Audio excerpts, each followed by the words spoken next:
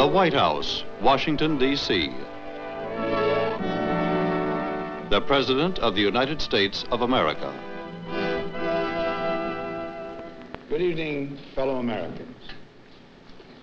I leave in just a few minutes on a three-week journey halfway around the world.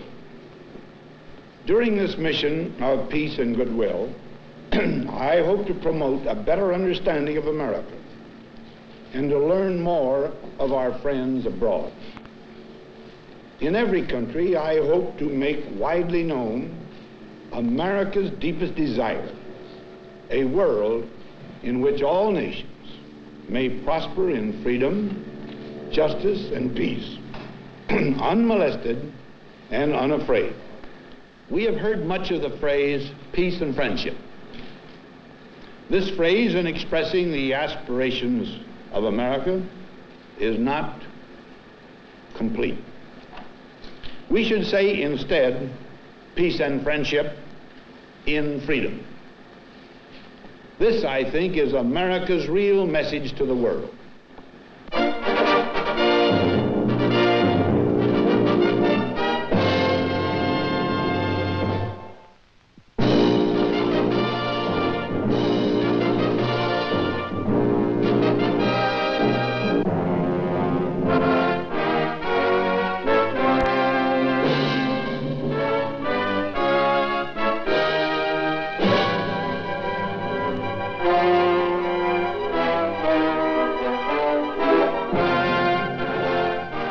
Destination of President Eisenhower's 22,000 mile journey to 11 countries.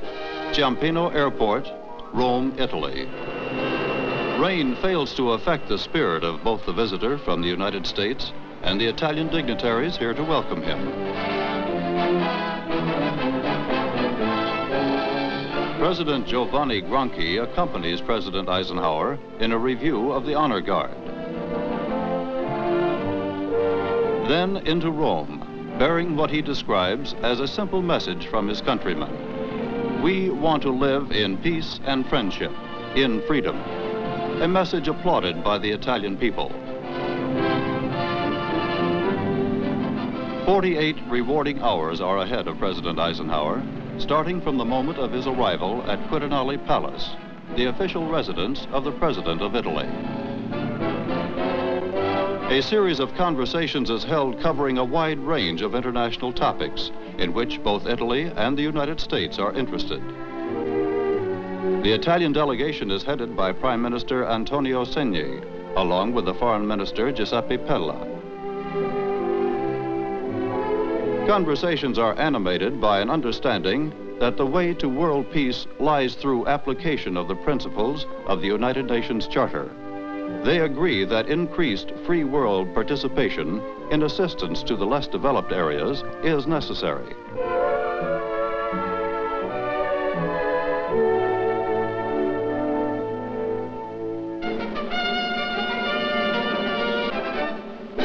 At night, Quirinale Palace is displayed to its best advantage at a formal dinner and reception given in President Eisenhower's honor by President and Mrs. Gronchi.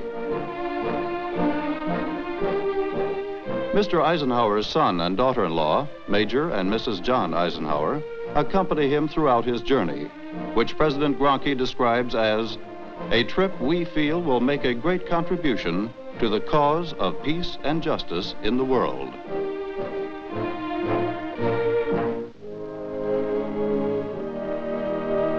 Morning. Through a cold rain, President Eisenhower visits the tomb of the unknown soldier, the monument to Italian war dead. A tribute by a former Supreme Commander in a shattering world war to those who had fallen in battle, and a prayerful hope that war will not again darken the lives of human beings.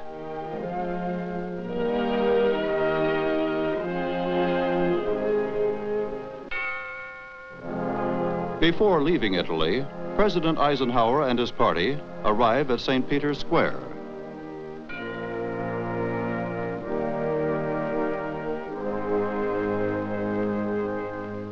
Vatican prelates escort them to the study of His Holiness, Pope John the 23rd.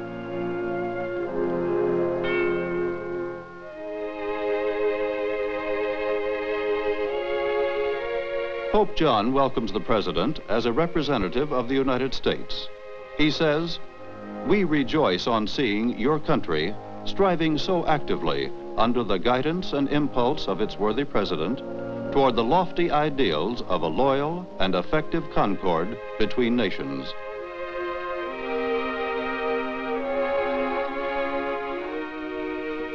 In a typical comment, an Italian newspaper summed up the impact of the president's visit to Italy. He represents a moral conscience, a spiritual force. The world must be inspired by his goodwill mission. The comments of the press reflect strong endorsement by the Italian people of peace and friendship in freedom. The whole country has taken the visitor to its heart. He knows as he says goodbye at the airport, he carries the good wishes of the Italian people along with him on his journey.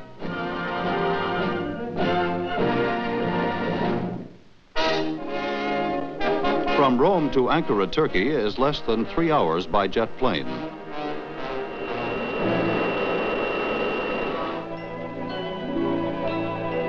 The flag-bedecked capital city is prepared to write a new page in the history of the close friendship between Turkey and the United States. They have met before, these two leaders. President Jalal Bayar of Turkey has been President Eisenhower's guest in the United States.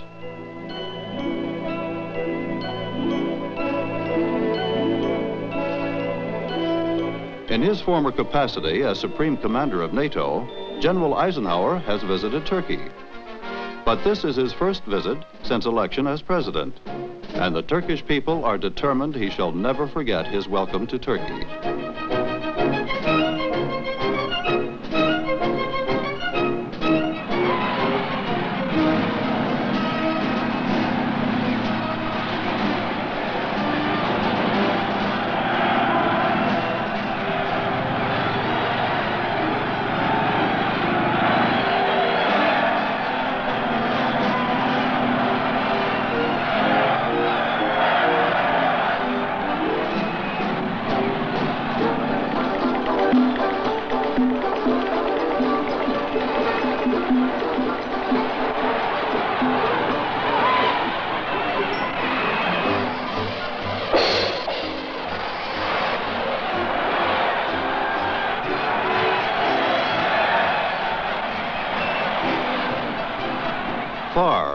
Yet very near, reads the mammoth sign over Ataturk Boulevard.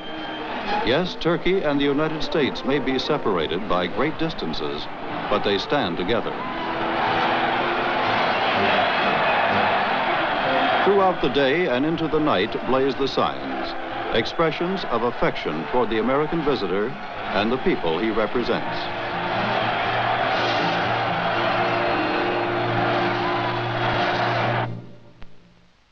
Not long afterwards, a visit to the tomb of the great president, Mustafa Kemal Ataturk, founder of the Turkish Republic.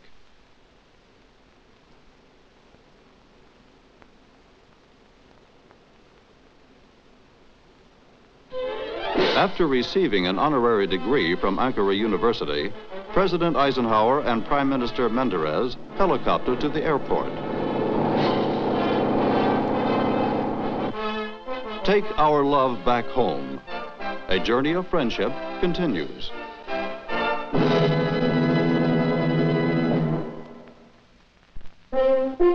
Hours later, President Eisenhower is in Karachi, bedecked with Pakistani and American flags.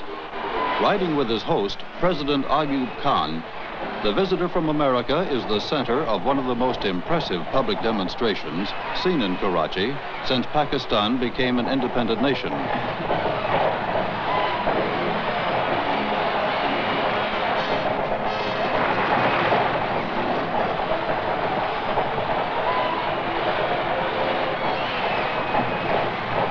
As the two presidents ride in from the airport, half the city's population lines the streets and crowds the windows and balconies of every building. At a formal dinner, the visitor from America is conferred the Nishan-e-Pakistan, the nation's highest civil award.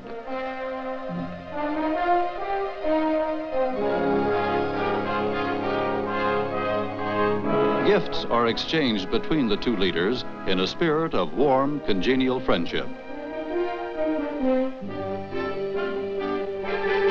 A display of ancient coins is of particular interest, as is the entertainment after dinner.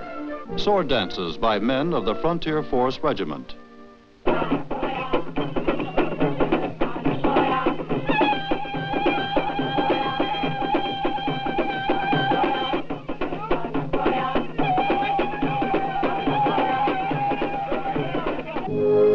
The next day, another meeting and discussion between the two presidents.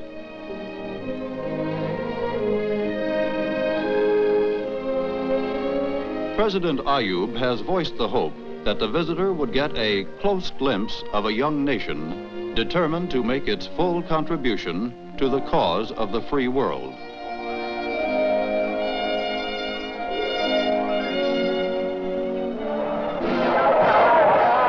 Only a short walk from the president's house, the visitor is to be treated to a display of writing skill. Large crowds manifest their affection for President Eisenhower. As a young man born in Texas and raised in the atmosphere of the western frontier, their guest is keenly interested in horsemanship, and he will not soon forget the demonstration seen here this day. Thousands of youngsters in the crowd are spellbound at the effortless leap over barriers.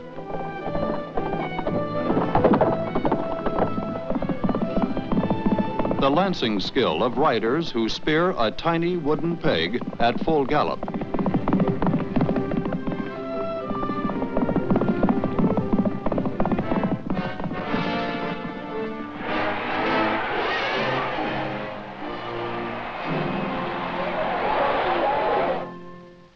A solemn quiet lies over the marble tomb of Muhammad Ali Jinnah as the American leader pays his respects to the founder of Pakistan. In President Eisenhower's words, we Americans have always admired the courage and independent spirit of the Pakistan people and have respected them because of their religious and spiritual devotion. Later, the visitor is a delighted spectator at a test match between the Australian and Pakistan cricket teams.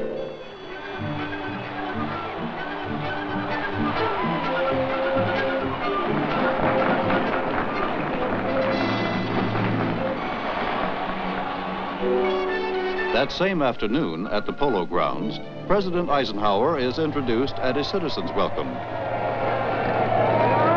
The president says, there is more than one kind of courage. There is a patient courage that, in spite of discouragement, enables a man to persist in working tirelessly to improve the lot of himself, his family, and his community.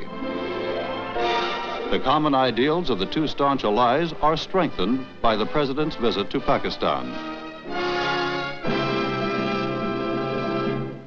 From Karachi to Kabul, Afghanistan, Greeting President Eisenhower at Bagram Airport is King Mohammed Zahir. In Afghanistan, the story is very much the same. From all walks of life, in all age groups, outpouring of affection.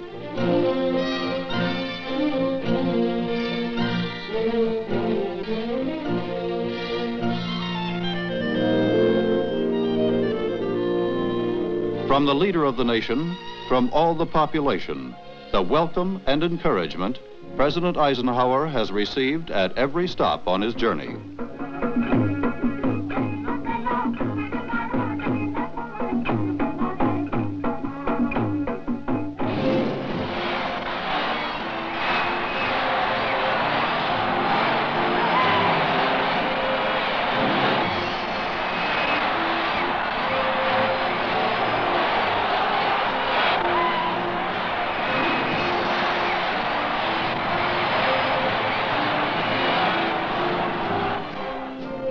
Respect for the man, belief in peace and friendship in freedom.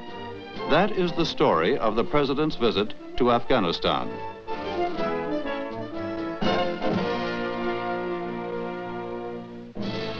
On to New Delhi.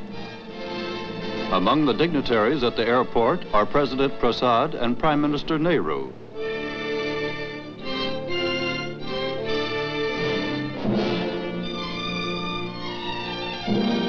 President Eisenhower says that he is about to embark on his personal discovery of India.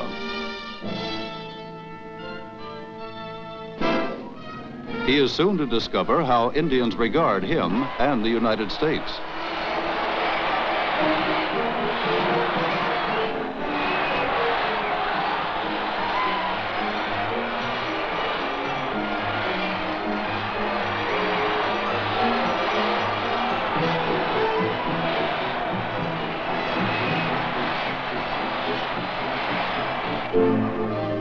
Everywhere he goes in New Delhi the next four days, a tumultuous demonstration of welcome to an awaited visitor.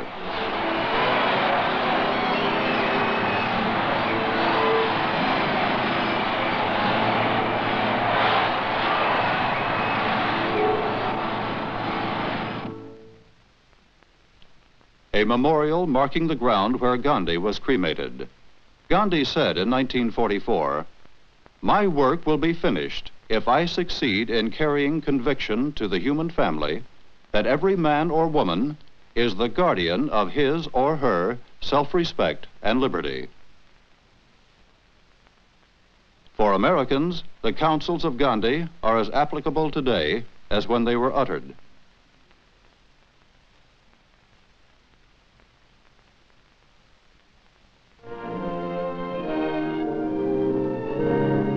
In the courtyard of the residence where he is staying, President Eisenhower greets some Girl Guides and Boy Scouts.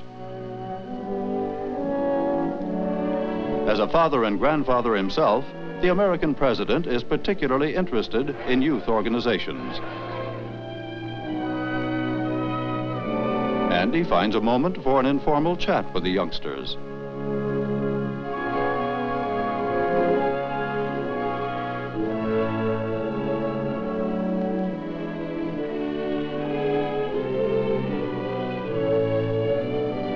Now he heads toward the Parliament building.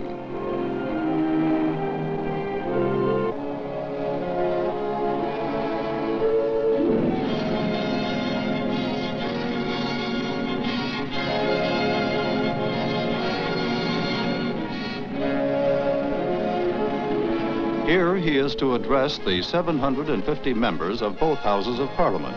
It is a speech interrupted by applause more than 15 times.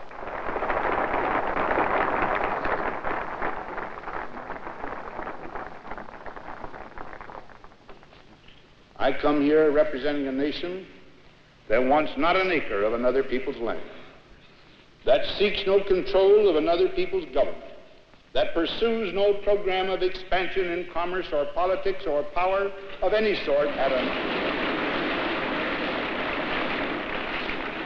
at another people's expense. It is a nation ready to cooperate toward achievement of mankind's deep, eternal aspirations for peace and freedom. Mr. Eisenhower goes on to say that America watches with friendly concern the valiant efforts of other nations for a better life, particularly those who have newly achieved their independence. Stating that controlled universal disarmament is the imperative of our time, the President asks, Can we not join in a five-year or a 50-year plan against mistrust and misgiving and fixation on the wrongs of the past?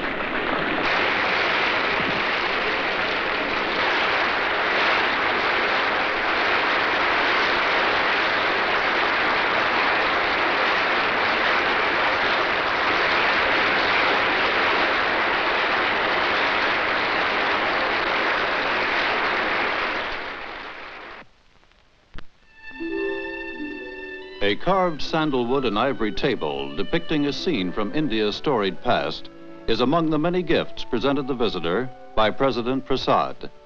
The occasion, a state dinner at the President's palace. The dinner is followed by a recital of Indian music and dances.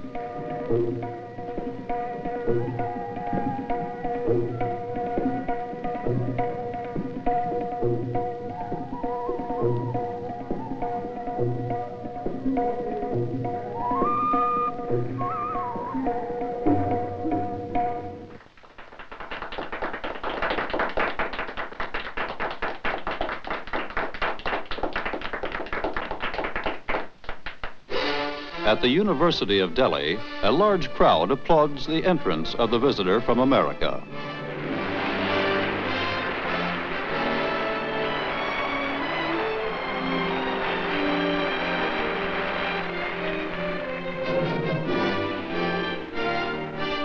The President of the United States is to be awarded the honorary degree of Doctor of Laws by Vice President Radhakrishnan.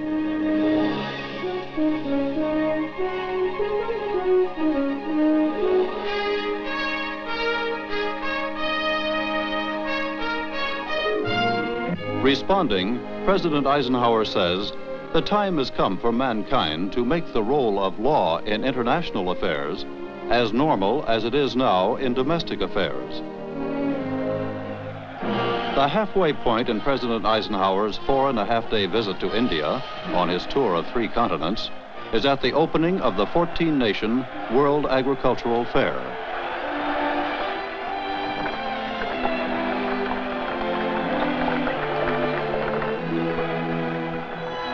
It is the first World Agricultural Fair in history, stressing efforts by all nations to increase food production.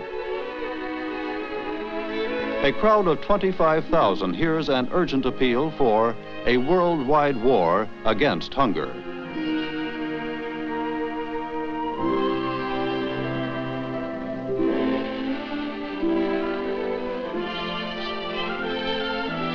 And at the opening of the United States exhibit, the man with a message of peace in freedom calls for a war against hunger in the context of the American exhibit's theme food, family, friendship, freedom.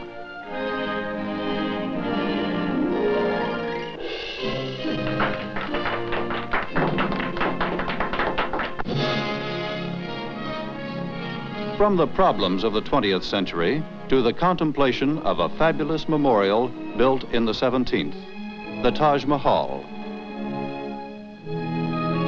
For 40 minutes, guided by Prime Minister Nehru, the President and his daughter-in-law tour the gardens and marble terraces of one of the most famous man-made works in the world.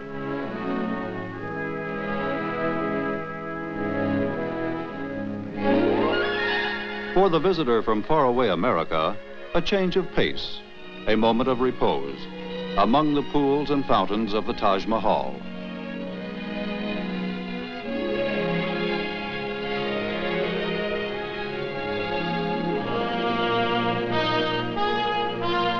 Not far from the Taj, an Indian village prepares for a visit from Mr. Eisenhower as his discovery of India continues.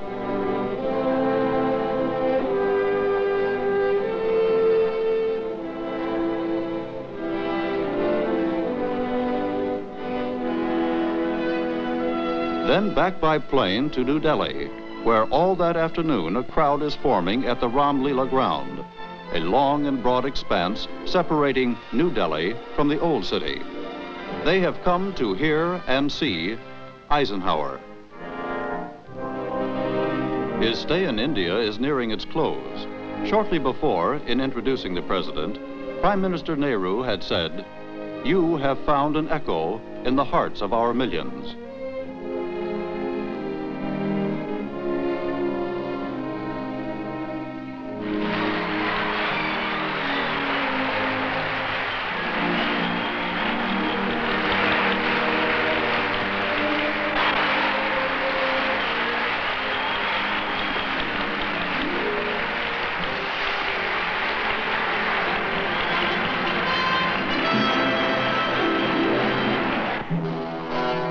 Next stop, Tehran. Through the freezing morning air, a motorcade passes the 10-mile route from the airport into the city, allowing countless Iranians a glimpse of the visitor.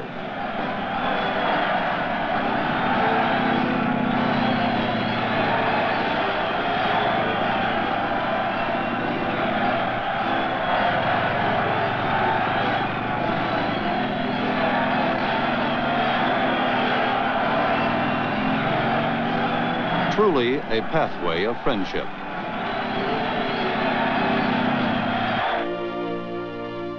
In the Shah's palace, the American president has a private talk with the Shah. His Imperial Majesty, Mohammad Reza Pahlavi. The visitor is to praise the fortitude and spirit of independence of the Iranian people. Iran's parliament invites the President of the United States to address a joint session in the new Senate building. In his speech, he is to voice the respect he bears the people who are his hosts. Says he, I know I speak for the American people when I say we are proud to count so valiant a nation as a partner.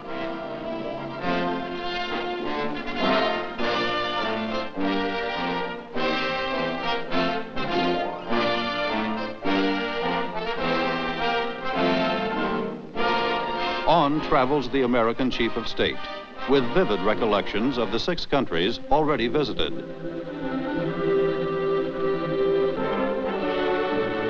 He eagerly anticipates the next stop, the land of the Hellenes.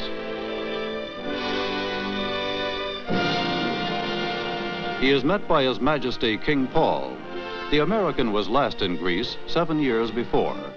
He is to find many changes, evidences of continued growth. But the valor of the Greeks he finds unchanged.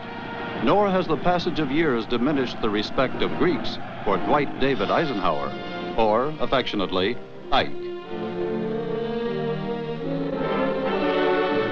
Wherever he goes, he reiterates his theme, peace and friendship in freedom. A warm personality draws an equally warm response from the many thousands who see and hear him coming and going in Athens.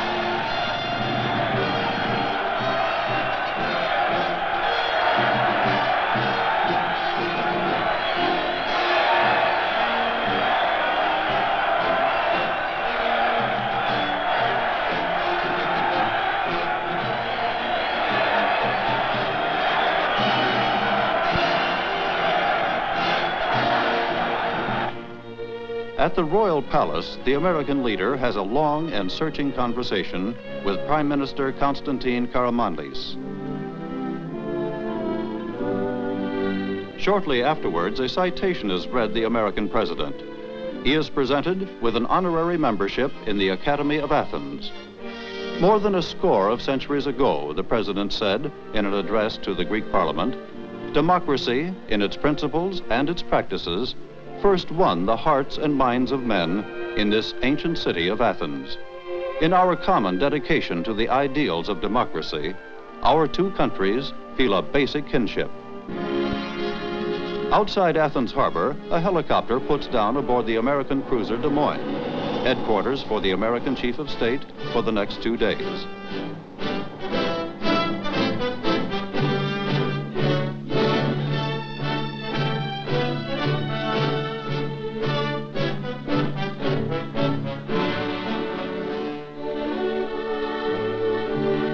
Then the Des Moines heads south into the Mediterranean. Destination, Tunisia.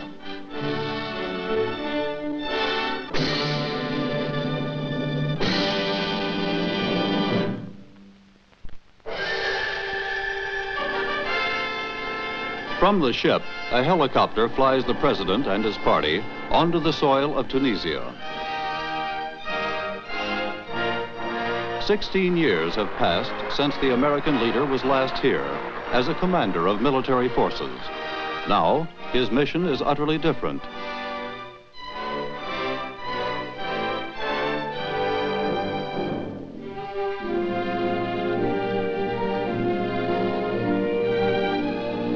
He enjoys breakfast and a spirited talk with the cherished friend of the United States, the President Habib Bourguiba.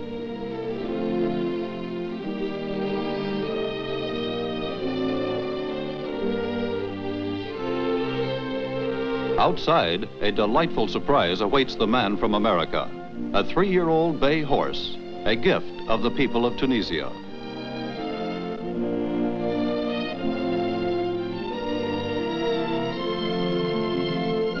Then, departure.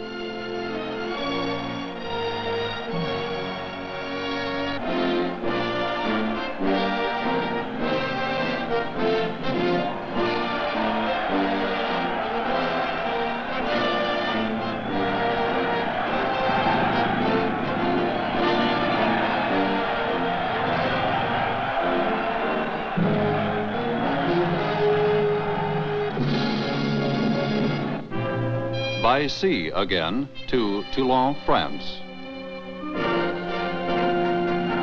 President de Gaulle's personal representative is among those present to welcome the name and the person of Eisenhower to French soil once again.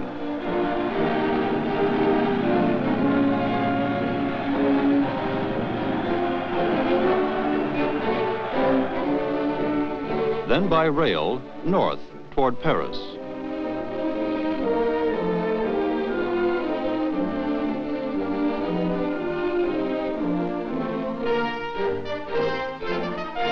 Of the journey, a meeting of Great Britain, France, the Federal Republic of Germany, and the United States.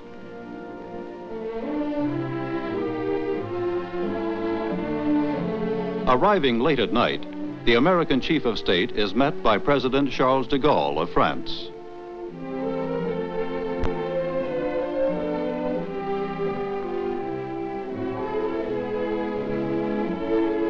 The ancient chateau of Rambouillet near Paris is the scene of the conference.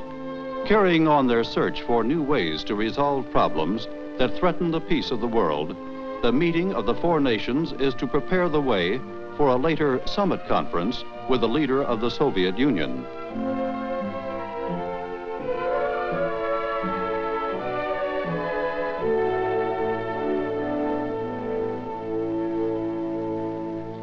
President Eisenhower arrives with British Prime Minister Harold Macmillan.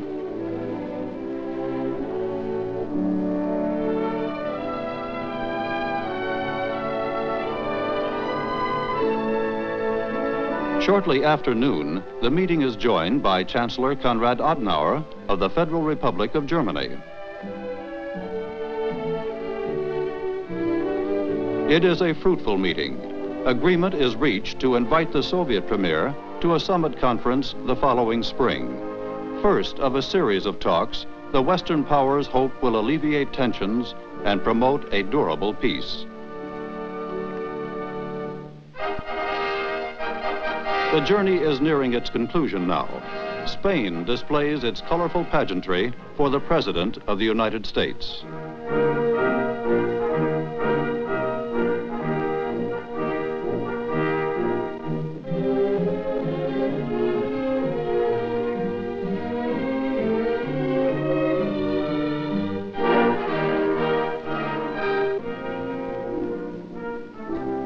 The visiting chief executive is welcomed to Spain by Generalissimo Francisco Franco.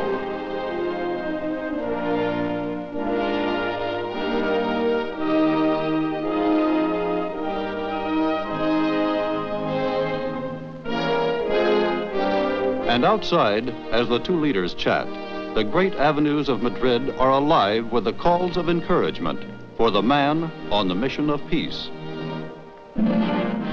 Last stop before his return, Morocco, the first country to recognize the United States after the achievement of American independence. More than half a million people watched the motorcade.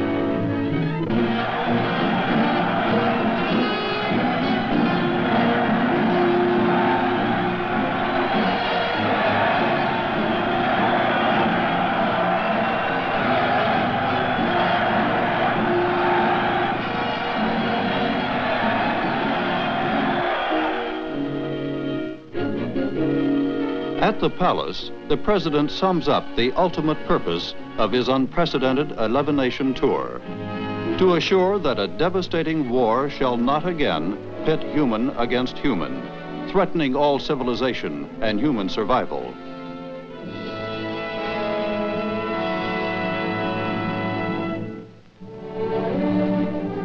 Casablanca ends the historic 11 nation goodwill tour. Christmas is approaching in Washington, where, despite the late hour, an enthusiastic crowd is at the airport. Everywhere I went, President Eisenhower says, people sent back a message of goodwill to the people of the United States.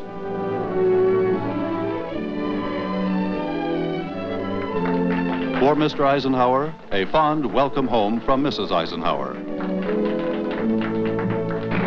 Every Christmas Eve at the White House, the President lights the national Christmas tree. 18 hours after his return, a report on his journey of peace and friendship. Fellow Americans at home and overseas, friends of America, workers for a just peace wherever you may be in the world, whatever your race or flag or tongue or creed. Once again, I have the privilege of lighting the pageant of peace tree on the eve of the Christmas season. Last night I came home from a trip that carried me to three continents, Africa and Asia and Europe. In the crowds that welcomed my party and me, I saw at close hand the faces of millions. They were Buddhist and Muslim and Hindu and Christian. We must, as individuals, as corporations, labor unions, professional societies, as communities, multiply our interest and our concern in these peoples. They are now our warm friends. They will be our stout and strong partners for peace and friendship in freedom if they are given the right sort of help in the right sort of spirit.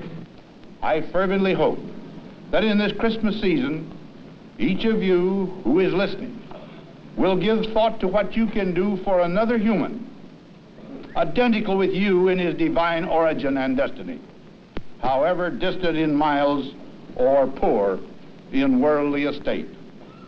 With that hope, with that prayer, I wish you all happiness and peace in this season as I light the nation's Christmas tree for the pageant of peace.